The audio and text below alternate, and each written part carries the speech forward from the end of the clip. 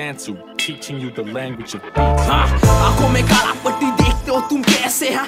बुद्धि को घर पे रख निकलते तुम ऐसे हाँ? बातें ये बहुत गरम काम पे सब झूठे हाँ? चल साले तुम निकले छोटे चूहे हाँ? सुन के लाइंस मेरा जा क्यों तेरा जल्ले हाँ? मामा से छुप के ये लोग आते मल मल्ले हाँ? करना कुछ चाहता है कुछ खींच के टांग पकड़ो हाँ फोकट का ज्ञान दू, हल्का तुझे लग गए हाँ। पता क्यों रोड के पीछे कुत्ते हो तुम साले हाँ। मुँह के बल गिरा है देश के भी सोचा है क्या सारे हाँ। तीन मंथ की बच्ची रेप समाज के मुँह पे जूते हाँ। जिस माँ ने दिया था जन्म, रात दिन दर्द सह के हाँ। उस माँ को देता दर्द, तू रात दिन दर्द भर के हाँ। मामा ये लेता पैसे, उंगलियों को चाट के हाँ। बातें तुम ज़्यादा करोगे, पड़ेगा फट के रख के हाँ। देता ये ज्ञान सभी पर छोटे भारी हाँ। मुझको क्यों समझते ये लोग समाज के चक्कर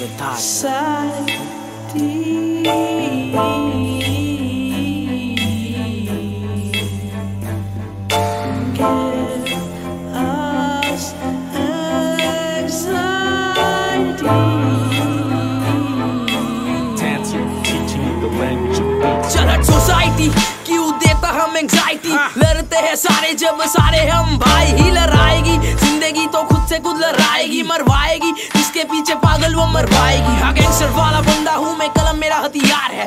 है ना उलझना बेटा, साथ मेरे सब भाई है। कहने वाले चलते हमको समझे, इतना औकात है। बिगड़ा हुआ देश आबादी सौ करोड़ है। पैदा हुई लड़की तो फिर लड़कियाँ खराब है। गहरा वाला बात, हल्के में लेना बुराई है। मिलता यहाँ शिक्षा, किसके बाप कितना कमाई है? अब नेशनल वाला गेम किससे ज़्यादा कौन कमाता है? बीमारी है। पैसों के भूख में सब जमाई है जमाई है। मंत्री आज जो बन के देश में आई है। हम मुंबई वाला स्लैंग नहीं, गाने पे मेरा सच है। तू क्यों परेशान बेटा? तू तो करता है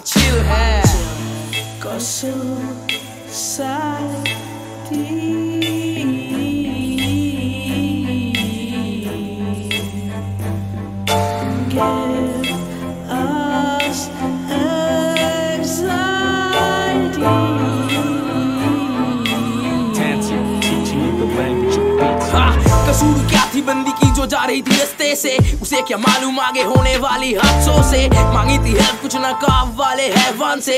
हुआ था लीटर उसको घर जाना जल्दी से भोसड़ी के। वो लोग लड़की को लेके गया जंगल पे। फिर चढ़ गया लड़की के हाथ जिस्मों पे। नोच खाया उसकी जिस्म के एक अंगों से। काम निपटा बात बिगड़ा, सोचा क्या होगा फिर? नीच सोच का सब लेके आया पेट्रोल डाल दिया सब। फुल लड़की चिकी बोली हाँ मत करना ये भूल सुना नहीं है वान जला दिया ब्रह्मांड लड़की जल के हुई राख फिर कल खोला अखबार छपा ये समाचार suspected rape and murder of a 26 year old veterinary doctor who was returning from work day before yesterday at about 9 pm in the Gachibowli in the uh, Shamshabad area. And that's when she had parked her scooter and the scooter got punctured and uh, she subsequently called her sister. That's what her sister is telling us and sharing the phone The family of the victim claimed that the victim was working as an assistant veterinarian at a state-run hospital.